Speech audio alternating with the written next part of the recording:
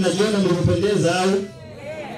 Okay, thank you very much, thank you very much. Naomba tumwongezee makofi Eliza kwa kutufundisha vitu vya msingi sana.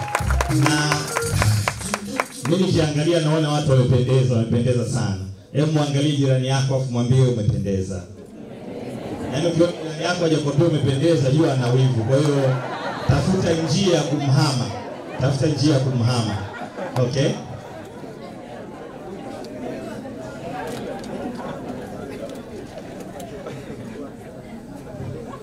Okay. Unajua ukiwa na sponsors wako vizuri wanakupa tips. Enos amekuja hapa ananipa tip. Kwa hiyo yani training yangu itakuwa vizuri zaidi. Okay? Yeah. So kingine ningeomba siti ambazo hamna watu tuwaruhusu watu waweze kukaa. Yaani usiweke begi wala kitabu wala nini. Kama mtu amechelewa anatakiwa akae kule nyuma. Aliyewahi aje akae. Kwa hiyo ningeomba hizo siti zote tutoetoe mabegi ili watu waweze kukaa. Okay. So uh, kwa majina naitwa Edmund Munyagi, mimi ni professional networker na kampuni ambayo ni the best in the world Forever Living Products.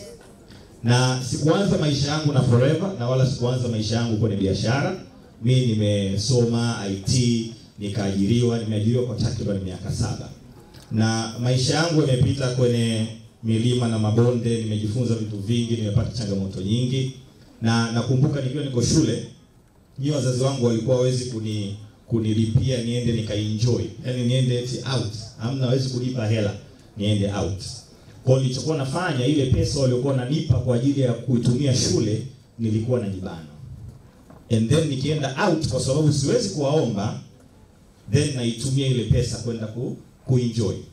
Okay, na wakati nafanya hivyo, nilikuwa na feed to my lifestyle bila kujua kwamba ule ndio msingi wa mafanikio kwenye maisha au kwenye masuala ya kifedha. Kwa hiyo nilikuwa nafanya tu kufit my lifestyle. Baadaye mambo yalivyobadilika, nikaacha hiyo discipline, nikaiacha. And then baadaye huko, wakati nimepita na soma soma vitu, nikakuta kuna vitu vingine vikanifundisha, vikanirudisha kule nilipokuwa nafanya mwanzo. Nikaanza kufanya and then baadaye nikaacha vile vile. Kwa hiyo maisha yanaenda up and down, lakini nimerudi tena kwa mara ya tatu na nikasema hivi vitu tunavyoenda kujifunza hapa leo ni vitu ambavyo tunaweza tukawafundisha hata watoto wadogo. Nani hapa na mtoto mdogo ambaye anaenda, sio mdogo sana, ambaye anaenda shule alafu anampa allowance ya shule labda shilingi elfu moja okay? Wazazi wamenyosha mikono na unavyompa ile, unaweza ukamfundisha principles kadhaa ambazo utajifunza hapa leo ambazo zinaweza zikamsaidia huko mbeleni, kwa sababu watu wengi sana waga tunadhani tunapata changamoto kwa sababu income yetu ni ndogo, lakini unajua kuna mtu anapata income ndogo kuliko yako alafu anaishi maisha. Mimi nakumbuka nilipomaliza form 6 mamangu alinisaidia nikapata kazi Swissport, kipindi hicho kinaitwa Daako. Nilikuwa nalipwa mshahara elfu sitini lakini ulikuwa unitoshi, lakini pale pale kuna watu walikuwa wanalisha familia kwa huo mshahara. So hebu imagine kama wao inawatosha, kwa nini mimi ambaye sina familia ilikuwa initoshi? Kwa mara nyingi waga tunadhani mapato ndio shida, income yetu tunadhani ndio shida, lakini shida kubwa waga ni expenses, matumizi yetu. Na mara nyingi oh, okay. DJ DJ, naomba unipigie mziki mkubwa jamani, tumkaribishe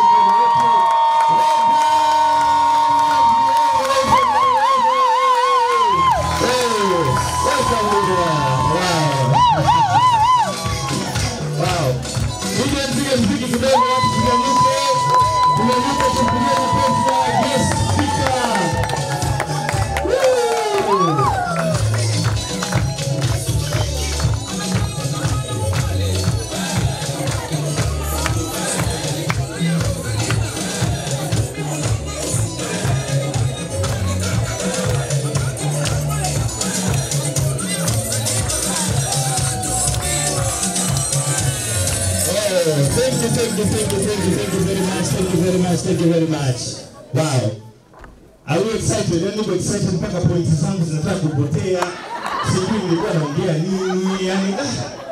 Okay, haya, ngoja nirudi kidogo. Uzuri niliweka hapa vinotes kidogo vinisaidie kunirudisha on track. Wow, okay. Yeah. So tulikuwa tunaongelea kwamba matumizi yetu ndio yanatupa changamoto kubwa kuliko mapato yetu tunayo tunayoyapata. Na matumizi yetu sasa ni kama yani, unajua kuna pesa ina, inaenda kwenye vitu ambavyo sio vya msingi. Mi always nasema ni kama ndoo ambayo imetoboka, alafu unajaza maji, na hata nikiamua kuongeza maji mengi huku bado yatapotea, bado tu yata yatapotea. Kwa hiyo kuna vitu ambavyo unahitaji kuvizingatia ili mambo yaende vizuri. Kwa unahitaji kutrack your expenses, uweze kujua matumizi yako, pesa yako inakwenda wapi. Yawezekana huko forever zaidi ya mwaka, miaka miwili, miaka mitatu, lakini ukiangalia vitu ambavyo umepata, unaweza kukutana na prospect anakuuliza, "Hebu niambie huu mwaka au hii miaka umetengeneza kiasi gani wewe kwenye forever?" And then ukiangalia kulia na kushoto, haujui umetengeneza kitu gani. Yawezekana ni kwa sababu matumizi yako ya juu, hujui pesa yako inaenda wapi. Mimi kuna hii application naitumia inaitwa Expenses Manager imenisaidia sana na kuna wachache hapa wameanza kuitumia. Huyu baadaye hapa ananiangalia so ya enjoy kwa. Na unajua hivi vitu unavianza vidogo vidogo, lakini baadaye vinakuwa kama habit, vina stick ndani yako. Kwa hiyo download hii application. Don't worry, hizi slides nitazituma kwenye group niki- nikikaa chini. Kwa hiyo ni muhimu sana kuweza kupunguza matumizi na unapunguza yale ambayo sio ya msingi. Wewe mwenyewe ndio utajua yapi ni ya msingi, yapi sio ya ya msingi. Kabla hujatumia jiulize, na ulazima wa kufanya matumizi. Okay? Sasa wakati unapunguza matumizi ni sawa na ile ndoo yako unaiziba sasa. Yale matundu yale ambayo ulikuwa unapoteza pesa unayaziba. Unapoyaziba sasa inamaanisha kwamba inakuwa rahisi kwa wewe kuweza kuongeza kingine. Lakini ni muhimu sana ukaweka budget. Ukawa na budget ya matumizi yako. Eh, kuna watu wana budget ya kila siku, akitoka nyumbani kama budget yake ni shilingi elfu kumi anatoka na shilingi elfu kumi Zingine zote anaziacha nyumbani, abedi kadi. Wangapi wanafanya hivyo? Najua wapo watu wanafanya. Devi anacheka hapa, najua anafanya. Yes. Anatoka na elfu kumi tu ambayo inamaanisha kwamba hawezi kutumia zaidi ya elfu kumi Kadi anaziacha nyumbani huko. Okay? Ni muhimu sana ukazingatia hivyo vitu. Lakini mimi naomba niwaambie kitu kimoja, hamna kitu mimi ninachokipenda na ninachokifanyia sasa hivi kama kuwa na emergency fund. Mara nyingi tunapata changamoto kwa sababu ya pesa ndogo ndogo. Laki mbili na nusu inahitajika sasa hivi hapo umeshtuliwa, shida. Laki moja na nusu inahitajika haraka haraka hapa, shida. Hatupati stress na pesa nyingi. Nani amewahi kupata stress kwa sababu alikuwa anahitaji milioni ishirini labda ili anunue gari? No, hiyo utai utaipostpone tu utafanya mwaka mwingine, si ndio? Lakini una laki na nusu inahitajika mtu aende shule, mtu aende hospitali. Eh? Yaani hiyo inakupa stress kubwa. Si ndio eh? Yes, kwa hiyo ni muhimu sana ukawa na emergency fund ambayo itakusaidia wakati una dharura. Ni muhimu sana. Na kuna misingi ya hii emergency fund iweje? Emergency fund inabidi iwe at least miezi mitatu mpaka miezi kumi na mbili sawa. Okay, sorry, ngoja nyuma. Inabidi kwanza ujue matumizi yako kila mwezi ni kiasi gani, na hii emergency fund inabidi pesa ambazo zinalingana na iko kiwango chako cha matumizi ya kila mwezi uzidishe mara tatu mpaka mara kumi na mbili. Kwa kama matumizi yako mwezi ni milioni moja, emergency fund yako inatakiwa na milioni tatu mpaka milioni kumi na mbili. Now, unahitaji kukifanya hichi kitu kwanza, hii iwepo kabla yaanza kufanya investments na vitu vingine. One of the mistakes mimi nimewahi kufanya, nimeenda kwenye investments kabla sijawa na hii emergency fund. And then investments zinahitaji hela bado, hazijaanza kuingiza, and then unapata dharura, and then unajua kuna hela umeweka kule alafu huwezi kuitoa. You are stressed. Lakini ukiwa na emergency fund, hata kama investment haijaenda vizuri, you are still okay. Si ndio? eh? You will still be okay. Kwa hiyo ni muhimu sana kuibuild emergency fund. Kama una madeni yalipe. Na umeona hivi nilivyoziweka hivi. eh? Emergency fund ina priority kubwa kuliko deni. Lakini sasa inabidi uangalie hilo deni lina riba kiasi gani. Na wangapi sijui watu watakubali kunyosha, lakini najua kuna watu tunakopa alafu unalipa riba ya asilimia ishirini, thelathini, arobaini kwa mwezi. Jamani, das yani ile ni ni uhuni, yani ni uhuni, yani mtu anakunyonya sana, kwa sababu hiyo ni riba kubwa sana. Lakini ukiwa na emergency fund tutakuja kufundishana. Kuna accounts mbalimbali. Mimi natumia dhahabu account ya CRDB it's very easy. Nani naweza nikakopa up to 80% ya hela yangu ambayo nimeiweka nimeiweka humo. Okay? Na wananchaji tu riba ya asilimia kumi na moja ndani ya mwaka. Okay? Kwa hiyo nitaendelea ku, kujifunza zaidi. Naona Vincent ananiambia muda wangu vipi Vincent I have 10 minutes. Don't worry. Don't worry. I'm okay. Thank you okay? So baada ya kufanya hivyo vitu vyote unatakiwa uanze uwekezaji. Tutafundishana hivi vitu vyote. Uwekezaji ni muhimu sana. Na kuna vitu vingi tunaweza tukawekeza. Kuna hii kitu inaitwa UTT very very important investment vehicle hapa Tanzania. Tunaweza tukaitumia hii. Tutaendelea kufundishana. Hii training ipo kwa ajili ya kuwapa tu idea za vitu ambavyo tunaweza tukavifanya. Lakini tukaweka fixed deposits kuna government bonds kwa vitu viko vingi sana ambavyo tunaweza kuvifanya kama investments. Na unaweza ukaanza kwa level yako tu ukaendelea from from there okay? Sasa baada ya hivi vitu vyote ni muhimu sana ukaongeza mapato. Kumbuka mara kwanza nilisema kipato sio shida eh? shida ni matumizi eh? lakini hata ukibana matumizi kama kipato kijaongezeka utafikia malengo ambayo Eliza ametuonyesha. No way. No way. Kwa unahitaji kuongeza mapato. Na sisi tuko kwenye forever unawezaje kuongeza mapato yako? Kwanza uza more sell more products. Utatengeneza pesa zaidi si ndio? Kama uko assistant supervisor go manager au, au supervisor si ndio? Kwa sababu hapo unaongeza kipato. Build a bigger team unaongeza kipato si ndio? Kwa ni muhimu sana ukaangalia ile fursa uliyokuwa nayo especially in forever. Unajua forever tuna uh, yani sources nyingi za income eh Hey, kama we ni manager sasa hivi go ego manager go CBQ uh, kuna Kaplan whatever smash all those kipato lazima tukita kitaongezeka. Kwa angalia kwa level yako ambayo upo, unawezaje kuongeza kipato chako au mapato mapato yako. Na hatuwezi kuepuka hichi kitu hapa, lazima tumrudishie Mungu. Najua ni changamoto, lakini lazima tumrudishie Mungu kwa sababu bila yeye hatuwezi, ndio? Yes, yani hatuwezi. Kwa hiyo lazima tulipe zaka kutokana na imani yetu sisi wenyewe ni muhimu sana tukafanya tukafanya hicho kitu. Na hapa nina reference ya books ambazo tunaweza tukazisoma. Mimi hiki kitabu ndio kilinifanya actually niko forever hapa kwa sababu ya hichi kitabu. Before hichi kitabu there's no way mimi ningekuwa mfanyabiashara. Amos alivyoniambia forever mara ya kwanza nilikuwa sijasoma hichi kitabu. na nadhani mnaweza mkaguess responses ambazo zilikuwa hapo eh. Hey, yani mtu mtazamo wako ukiwa uko tofauti, there's no way utarespond vizuri. Now tip, kama una prospect wako ambaye anakuwa mgumu kufanya decision, give them a book. Give them a book asome. Inaweza kamfungua alafu aka make the right decision. Lakini kuna kitabu kingine kinaitwa Think and Grow Rich na mimi nakipenda sana hichi kitabu, The Richest Man in Babylon. Nani ambaye ukisoma hichi kitabu? The Richest Man in Babylon. Yaani mikono ni michache. Let's go and read this book. Kwa sababu hiki kitabu mimi kimenisaidia sana sana. Lakini kuna instagram accounts tumekuwa tukizifuatilia fuatilia. It's very important tukaanza kuzifuatilia. Me i like this account hapa. Inaitwa smart money decisions.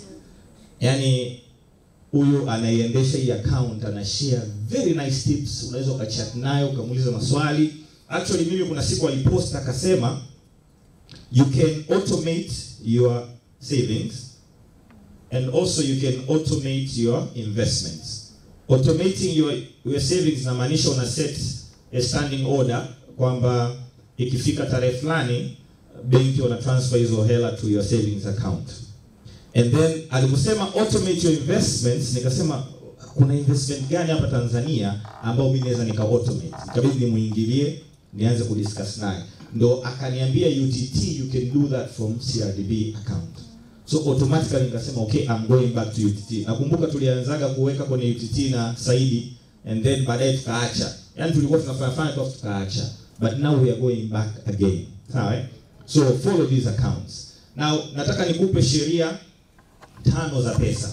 Now hizi zinatoka kwenye kitabu cha The Richest Man in Babylon. Okay?